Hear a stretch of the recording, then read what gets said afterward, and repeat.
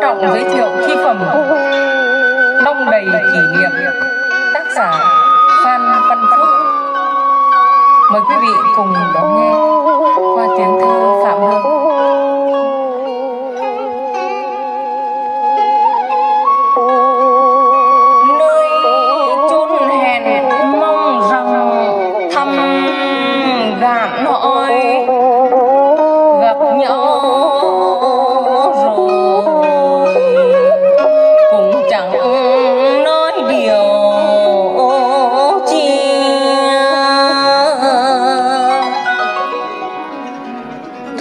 tìm xem còn ẩn khuất điều gì.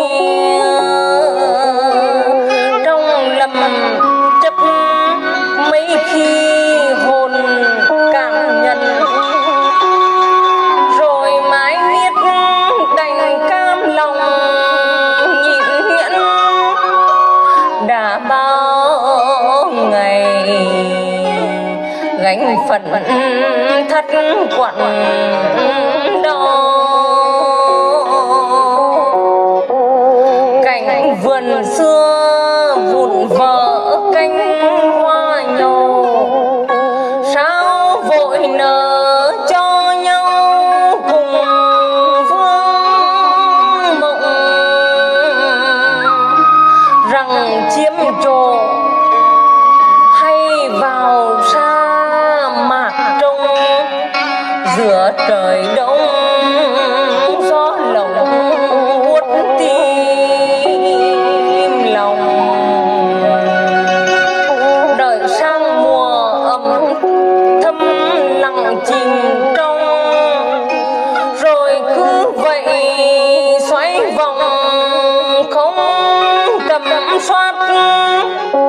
màu sắc cũ dường như đang dâm nhạt để hôm dậy.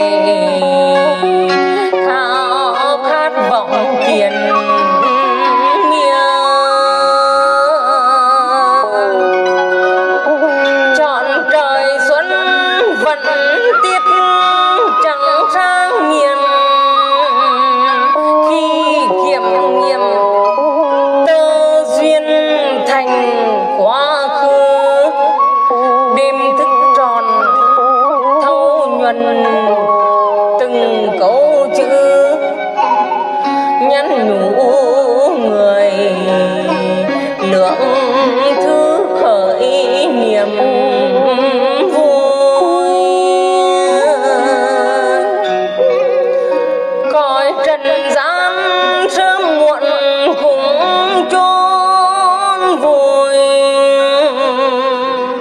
Pha trồn rằng tiếng lui bao đường tranh, khơi gợi nhớ hiền trường đấu hoàn cảnh.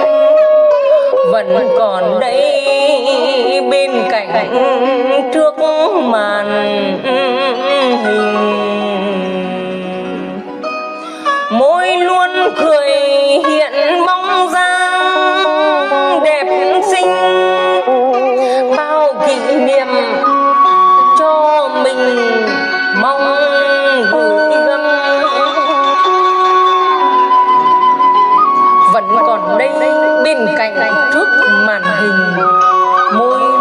người hiện bóng dáng đẹp xinh, bao kỷ niệm cho mình.